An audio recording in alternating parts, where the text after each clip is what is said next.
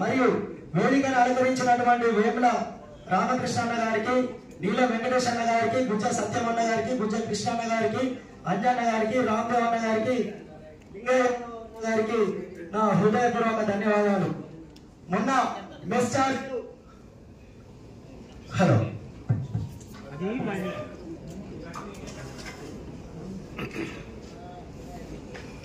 Hello. మిచ్ఛార్జీలను పెంచాలని మరియు ప్రభుత్వ సంక్షేమ రాష్ట్రాల్లో కేవలం బీసీలు అంటే ఈ బీసీల కోసమే పోరాడేటువంటి నాయకులు కాదు ఎస్సీ ఎస్టీ బీసీ మైనార్టీ బడుగు బలహీన వర్గాలకు చెందినటువంటి ఒక విద్యార్థి ఉద్యమ నేతగా వేముల రామకృష్ణ గారి ఆదేశాల మేరకు మన కలెక్టరేట్ ఎదుట రిలే నిరాహార దీక్ష రెండు రోజులు చేయడం జరిగింది. మరియు దాని సందర్భంగా ఆర్ కృష్ణన్న గారు ఒక ఉద్యమ నాయకుడు అడుగుజాడలో నేను కరీంనగర్ ఎదుట నేను నిరీల నిరాహార దీక్ష చేసినందుకు మరి మెచ్చార్జీలు పెంచినందుకు చాలా సంతోషకరమైనటువంటి విషయం అన్న. భవిష్యత్తులో ఈ ఉద్యమాన్ని కరీంనగర్ జిల్లాలో విస్తృతంగా ఉద్యమాన్ని మరింత బలోపేతంగా తీసుకెళ్తానని సందర్భంగా నేను కృతజ్ఞతలు తెలియజేస్తున్నాను. అన్ని వేళలా నా వెన్నంటూ ఉంటూ మరి నాకు అనేక సందేహాలు ఇస్తూ నన్ను ముందుకు నడిపిస్తున్నటువంటి వేముల రామకృష్ణ గారికి శిరస్సు వచ్చి పదాభి నమస్కారాలు తెలియజేస్తున్నాను.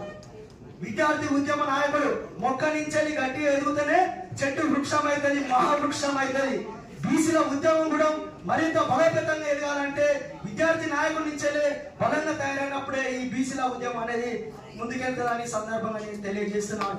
బీసీలు అంటే కేవలం యాదవులే కాదు కుర్మలే కాదు గౌసే కాదు సంబంధ వర్గాల కులాలకు చెందినటువంటి బీసీలు. ఈ బీసీల యొక్క పిల్లల యొక్క భవిష్యత్తు గురించి వారి యొక్క తల్లిదండ్రులు పడుతున్నటువంటి కష్టాల గురించి ఆర్థికంగా సామాజికంగా న్యాయ న్యాయబద్ధమైనటువంటి హక్కుల గురించి ఎన్నో ఉద్యమాలు చేస్తూ తన యొక్క జీవితాన్ని త్యాగం చేసినటువంటి ఆర్ కృష్ణ గారికి నేను జీవితాంతం రుణపడి ఉంటానని ఈ సందర్భంగా నేను తెలియజేస్తున్నాను. ఈ ఉద్యమం కేవలం ఇంతటితోనే ఆగేదే కాదు భవిష్యత్ తరాలకు భవిష్యత్ పిల్లల కోసము భవిష్యత్తు భవిష్యత్తులో మనకు ఉన్నటువంటి హక్కుల గురించి భవిష్యత్తు కార్యాచరణ దిశగా మరి ఈత ఉద్యమాన్ని మరింత ముందుగా తీసుకెళ్ళాలని తెలియజేస్తున్నాను ఏదో హైదరాబాద్లో హోటల్లో హైదరాబాద్లో మీటింగ్ పెట్టిరు ఏదో అంతగంట ఒక రోజుతోనే కాదు. నర నరాల్లో మన భావజలం నా సిద్ధాంతాలన్నీ ఇమిడి ఉంటే మన రక్తం మరిగినప్పుడే మరి ఈ ఉద్యమం మరింత బలవేతంగా ముందుకెళ్తుందని నేను ఆశ వ్యక్తం చేస్తున్నాను. పదకొండు సంవత్సరాల క్రితం నేను చదువుకోవాలంటే చాలా ఇబ్బందులు ఎదురయ్యాయి.